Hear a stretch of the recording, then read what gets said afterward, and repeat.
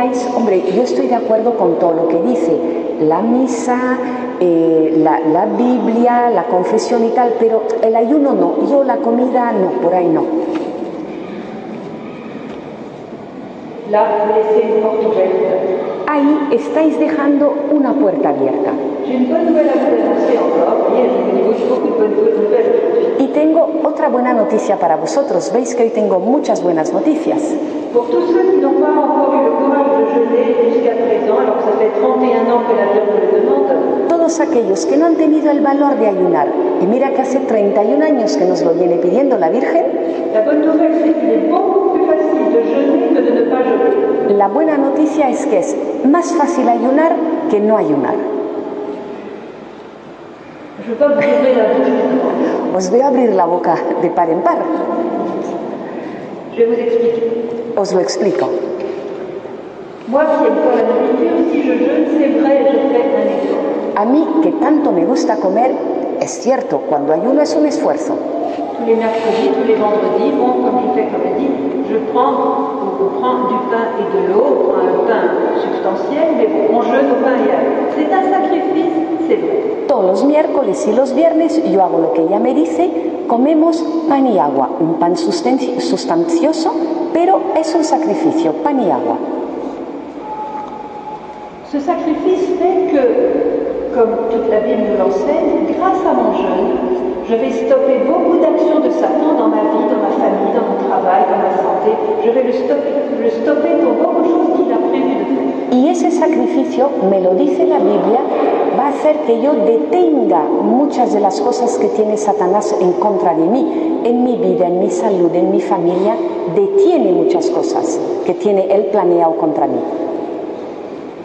Par contre, si je, je ne jeûne pas, je vais profiter de toutes les bonnes nourritures espagnoles qui sont délicieuses. Y en cambio, si no ayuno y aprovecho todas las delicias que hay en la cocina española, Je vais profiter comme ça, mais je ne vais pas bloquer Satan. lo voy a disfrutar, pero no voy a detener a Satanás. Et lui, trop content de ne pas être bloqué, il va me faire des malheurs dans ma vie, etc. Il va rentrer parce qu'il n'aura pas cette barrière le jeûne. Y él ni poco contento de ver que no pongo esa barrera que constituye el ayuno y podrá entrar. Et quand il s'agira de réparer les dégâts qu'il a fait dans ma vie, Il y a- ça me coûtera un sacrifice beaucoup plus grand que celui de jeûner. Y a la hora de reparar los daños que él ha hecho en mi vida, me costará un sacrificio mayor que el que me requería por ayunar. Est-ce que vous avez compris ¿Entendéis? Allô Vous avez compris Alors, vous préférez faire un grand sacrifice ou un petit sacrifice Entonces, ¿qué preferís? ¿El gran sacrificio o un pequeño sacrificio? Jeûnez. Pues ayunad. Lógico, ¿verdad? Toda la palabra de Dios nos lo dice. Regardez tous les malheurs qui ne sont pas tombés sur certains peuples parce que, devant le risque du malheur, ils ont jeûné et prié. Fijaos cuántas desgracias no le han acaecido al pueblo porque ante la desgracia ayunaron, se pusieron a ayunar y a rezar. Proteged a vuestros hijos,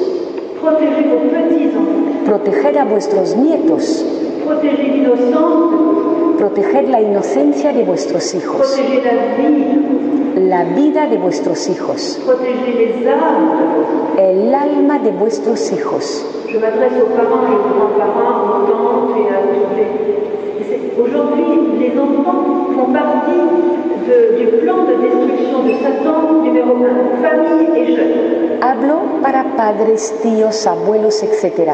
Proteger a esos niños, porque los niños forman parte del plan de Satanás, familia y jóvenes. Et Marie nous dit, vous avez le pouvoir de l'empêcher de nuire. Y nos dice María, tenéis el poder de impedirle al enemigo el haceros daño. Ce plan de Satan n'est pas Ese plan de Satanás no es ineluctable, puede deshacerse, pero depende de nosotros.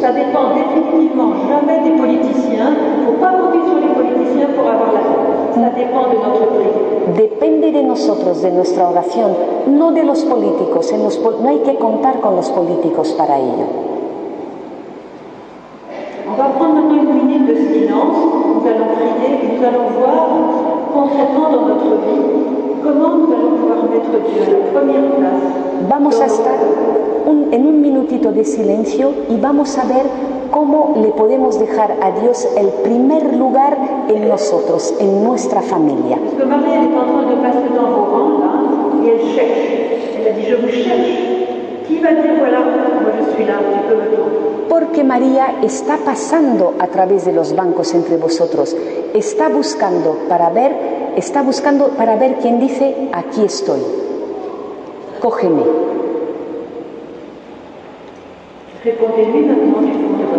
Y ahora le vais a contestar desde lo más profundo del corazón, con la libertad del corazón.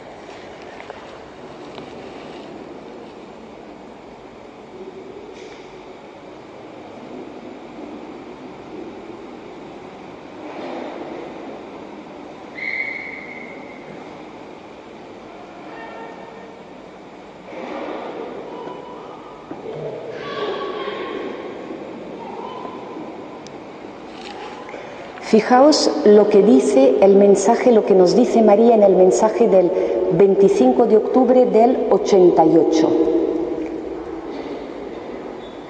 Así cada, o sin, perdón, así cada uno de vuestros corazones, no. Ah, empezaba en otro lugar. Nos dice, os invito hoy a la oración de consagración a Jesús, mi Hijo bien amado. Así, cada uno de vuestros corazones le pertenecerá. Además, os invito a la consagración a mi corazón inmaculado. Deseo que os consagréis personalmente, pero también en tanto que familia y que parroquias.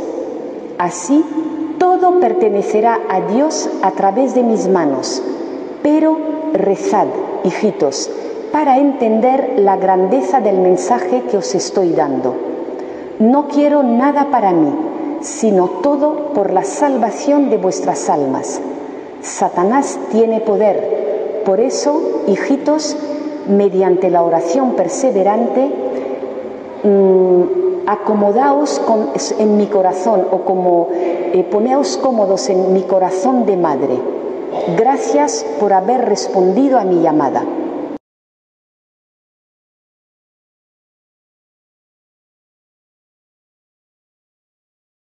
My dear friends, my dear friends, today my Mis queridos amigos, el tema de hoy uh, va a ser fasting. el ayuno.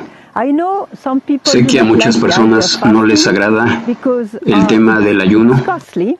It is costly, Cuesta mucho trabajo, demanda mucho, but pero, the fruits are extraordinary. pero los frutos son extraordinarios. Lo vemos en la Biblia. 30 years here in Medjugorje when Lo he I visto aquí en Medjugorje durante estos últimos I can 30 tell you años, la diferencia entre la gente que hace ayuno y la que no lo hace. Uh, all, Quiero hablarles de los bellos frutos del ayuno. Primeramente, con el ayuno y la oración, por supuesto. La oración y el ayuno van de la mano. Con la oración y el ayuno pueden derrotar a Satanás. Con la oración y el ayuno pueden obtener sanación, Sanación espiritual e interior. y sanación física. Con la oración y el ayuno también pueden liberar a las almas del purgatorio, incluyendo a sus seres queridos que están en el purgatorio. Es un acto de caridad. Esto es algo no muy conocido, pero a través de la oración y el ayuno, ustedes pueden encontrar su vocación. No solamente cuando están jóvenes y no saben qué rumbo tomar, sino también cuando no saben cuál es su rol en el cuerpo de Cristo, en la iglesia, en el mundo. Así encuentras tu rol específico en el cuerpo de Cristo, tu identidad y por supuesto tu llamado. Otra cosa importante y estarás interesado es que aquellos que hacen ayuno y oración hacen un espacio especial en su alma y su corazón para el Espíritu Santo.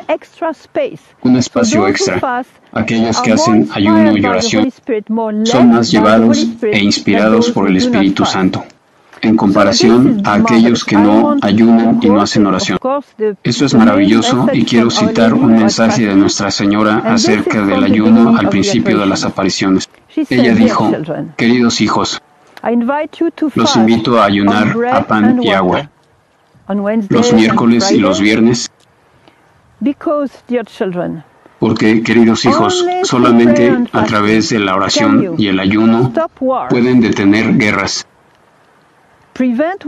evitar guerras y suavizar leyes naturales. No estamos en un periodo de guerra espiritual en estos momentos. La guerra espiritual se está librando en la iglesia y en el mundo hoy. Es una guerra. Y se nos da un medio para derrotar al mal. Es la oración y el ayuno. Ella dice solo a través de la oración y el ayuno. En el inicio de la guerra en 1991, el padre Slavko, que Dios lo bendiga, organizó su primer retiro de oración y ayuno aquí en Meyudori. No había mucha gente, la guerra acababa de comenzar. Reunimos a 20 personas para este retiro de oración y ayuno a pan y agua. Cinco días. Al final del retiro, el último día, él llamó a María Pavlovic la visionaria y le dijo, María, ¿por qué no vienes y rezas el último rosario del último día con nosotros? Así que vino y rezó, y el padre Slavko le pidió que le preguntara a Nuestra Señora durante una aparición si tenía algo que decir a estas 20 personas que hicieron ayuno durante estos cinco días. Así que María vino, la vio a Nuestra Señora y al final de la aparición María escuchó el mensaje que lo transmitió a nosotros. Dijo, mis más hijos amados, palabras muy muy tiernas. No dijo queridos hijos, dijo mis más amados. Qué fácil sería para mí detener esta guerra si tan solo pudiera encontrar más gente que ore y haga ayuno como ustedes hacen. Tan solo más gente haciendo esto hubiera sido suficiente. La guerra terminó en 1995 y esto ocurrió a finales de 1991. Pueden ver todo el sufrimiento, la muerte y la sangre que pudo haber sido evitada si hubiéramos escuchado el mensaje y practicarlo. ¿Por qué el ayuno es tan poderoso en contra de Satanás, en contra de la maldad? Bueno, porque el ayuno es exigente. Bueno, tú puedes dar dinero, puedes dar tu tiempo, Puedes dar tus habilidades, pero cuando das tu cuerpo o tu carne, es exigente, porque cambias tu hábito de alimentación. Esto es exigente. Y porque es exigente es una ofrenda a Dios. Y por esta razón, Satanás odia a los que hacen ayuno. Siempre trata de convencer que el ayuno es estúpido inútil y tratará de convencerte que tú no puedes hacerlo. Y la gente dice, no puedo, no puedo, está fuera de mis posibilidades. Esto es el enemigo que no quiere que hagas ayuno. Todos los santos han practicado el ayuno y Nuestra Señora dice, el ayuno ha sido olvidado en la Iglesia Católica. Hacemos ayuno en miércoles de ceniza y viernes santo. Quién sabe si realmente la gente lo haga solamente con pan o tal vez esté comiendo pescado. Y si es así, dicen que están haciendo ayuno por el amor de Dios. El ayuno se ha practicado por mucho tiempo. Los judíos practican el ayuno no los mismos días. Tenemos un documento de la Iglesia que dice desde el primer siglo de la Iglesia que incluye a los apóstoles y a la Santísima Virgen María, a los santos. Menciona que los judíos hacen ayuno los lunes y los jueves, pero nosotros, seguidores de Cristo, hacemos ayuno los miércoles y los viernes, lo cual significa que la Santísima Virgen hacía ayuno los miércoles y los viernes. En cuanto a la sanación, los primeros años de las apariciones, la gente le presentaba a Nuestra Señora hijos enfermos, padres enfermos, etc. Y le preguntaban, Madre, ¿podrías aliviar a esta persona enferma? Y Nuestra Señora contestaba, no soy la que sano, es mi Hijo Jesús, pero rezaré a mi Hijo para la sanación de esa persona. Pero invito a la familia de la persona enferma a orar y hacer ayuno para esa persona, porque si oran y ayunan, obtendrán más sanaciones. Muchas sanaciones están suspendidas arriba así y no llegan a nosotros. ¿Por qué? Porque no hacemos ayuno y en algunas ocasiones no hacemos oración por esa persona. Así que esto es importante. Para las almas del purgatorio es un acto de caridad. Un ejemplo, suponemos que estás caminando en la calle y de repente quedas en shock porque ves un niño atropellado y está sangrando. ¿Qué es lo que haces? Lo rescatas, hablas al hospital. Cuando rezas y ayunas por las almas del purgatorio, debes saber que las almas del purgatorio sufren con un sufrimiento mayor que cualquier sufrimiento mayor en la tierra.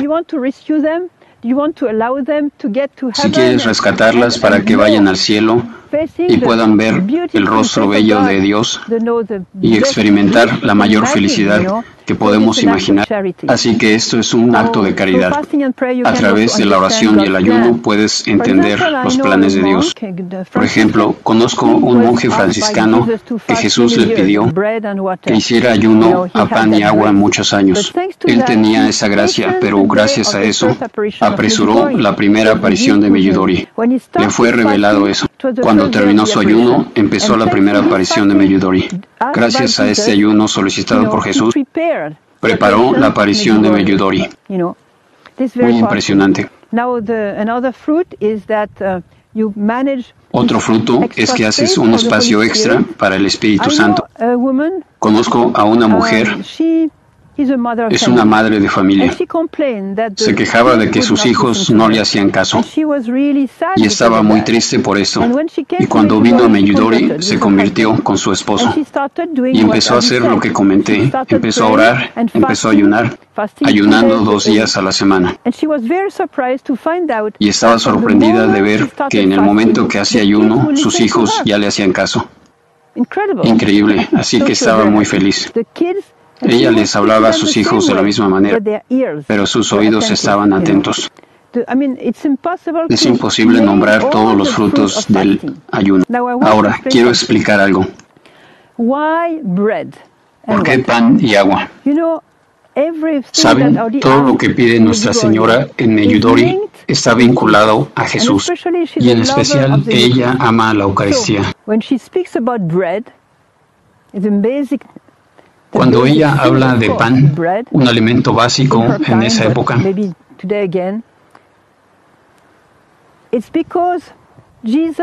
es porque Jesús lo hace pan de vida. Jesús no se hizo la banana de vida o la cebolla de vida o la papa de vida. No, Él se hizo el pan de vida. Porque el grano de trigo tiene que ir bajo la tierra y muere y después resucita. El grano de trigo tiene que ir bajo la tierra y morir para que muerto pueda producir muchos frutos, una abundante cosecha. Y ahí tienes la vida de Jesús. Él muere para que pueda resucitar de entre los muertos y el fruto es la salvación. Es por esto que estamos tan conectados al pan y al trigo. Um, Porque Jesús se hizo a sí mismo el pan de vida. Quiero añadir algo sobre el pan que es muy importante porque no quiero que renuncien al ayuno por el tipo de pan equivocado que usan. Hay un pan adecuado para el ayuno y hay uno que no lo es. El pan que no es apto para el ayuno es el pan blanco que ha sido modificado. Este tipo de pan puede producir jaquecas u otro tipo de síntomas. Eviten el pan blanco que ha sido modificado porque te puede causar daño. Les recomiendo tomar espelta o escanda, es la reina de los cereales. La calidad del pan es muy importante porque tienes que estar en buena salud. El objetivo de Nuestra Señora es que no estemos hambrientos o enfermos. El objetivo de Nuestra Señora es que estemos en buena salud y cerca de Jesús comiendo buen pan. Ella hacía el pan en Nazaret. Ella sabe cómo hacer buen pan. Reza a ella. Bien, ¿por qué dos días a la semana? Miércoles y viernes. Porque en medio de esos días hay un jueves. Nuestra Señora insiste en que cada jueves debe ser vivido como un jueves santo lo cual significa recordando la última cena, recordando cuando Jesús se hizo el mismo pan comestible para que pudiera entrar en nuestros corazones en la Santa Comunión. El jueves celebramos el regalo del pan de vida. Ella nos pone a pan un día antes para que entremos en el misterio del pan. Y después del jueves nos mantiene a pan un día más para que no salgamos demasiado rápido de la meditación del misterio del pan de vida. De eso se trata la Eucaristía. Esto es típico de Nuestra Señora. Todo lo que pide está centrado en Jesús. Mucha gente pregunta muchas cosas.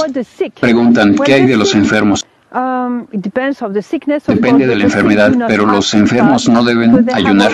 Ellos ya tienen una carga pesada, el sufrimiento de su enfermedad. Pueden ayunar si el doctor lo permite, pero tienen que ser prudentes. Otra pregunta que hacen es qué tipo de pan, qué cantidad de pan. ¿Saben? Deben de tomar la cantidad de pan que necesitan para poder estar fuertes, porque son días laborables, no son días de vacaciones. Debes tener suficiente pan para trabajar normalmente. Recomiendo que tomes mucha agua durante los ayunos porque es necesario. Bebe el doble. ¿Qué tipo de agua? No especifica qué tipo de agua. Puede ser agua hervida, agua fría. Puede ser un poco de té. El padre Slavko siempre permite en sus retiros Recuerdo una pequeña broma que Mirjana, la visionaria, realizó a una mujer de América cuando escuchó que teníamos que ayunar a pan y agua, le preguntó a Mirjana, Mirjana, ¿qué pasa si en la mañana tomo un poco de café con un poco de azúcar? Uh, Mirjana le dijo, sí, hazlo rápido, pero antes de que Nuestra Señora se levante. Saben, aprendimos mucho del padre Slavko. Uh, y una cosa me impactó mucho. Un día un hombre se le aproximó y le dijo, Padre Slavko, estoy de acuerdo con el ayuno, pero tengo un problema. Me llevo muy bien con mi esposa. Me llevo muy bien con ella. Pero los días que ayuno soy muy despreciable con ella. Así que voy a renunciar al ayuno. El padre le dijo, no, no, no hagas eso. Le dijo, ¿sabes por qué es despreciable? Porque hay una enfermedad en tu alma que está escondida. En días normales, pero el ayuno tiene el poder de revelar tus enfermedades en tu alma, en tu corazón. Así que, ¿por qué eres despreciable con tu esposa?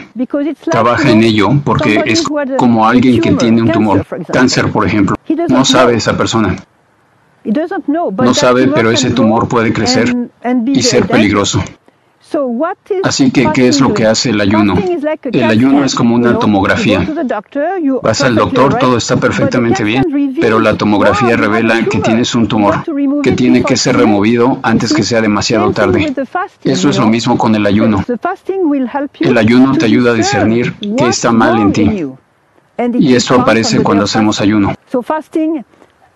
Así que el ayuno revela muchas cosas y después debemos trabajar en ellas. Puedo darles muchos testimonios porque he estado más de 30 años aquí y he conocido a mucha gente que se ha beneficiado del ayuno. Por ejemplo, una familia que viene que está devastada porque su hijo está en drogas. Otra, por ejemplo, tiene un hijo que es adicto a los juegos. En otro caso, por ejemplo, la esposa es insoportable y el esposo está a punto de dejarla. Satanás está trabajando en las familias. Y estas familias me dicen, por favor, rece por nosotros, hermana. Les digo, por supuesto, rezaré, se los prometo. Pero les digo, ¿ustedes hacen ayuno por estos problemas? Dicen, no, pero rezamos mucho.